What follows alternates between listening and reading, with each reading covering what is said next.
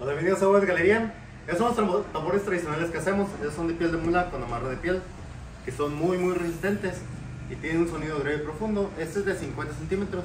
Todo con una baqueta así y ese me suena así. Este es uno de 45 centímetros. Es el diámetro que tiene de aquí a aquí y también va con el amarre tradicional de piel. Este es uno de 40 centímetros, que estos ya son más prácticos y portátiles para el día al día. Y también tienen con su amarre de piel. Y este es el más práctico de todos. Este es de 35 centímetros con amarre de piel. Este cabe en cualquier mochila, en cualquier lado, morral, todo. Lo pueden llevar a otros lados.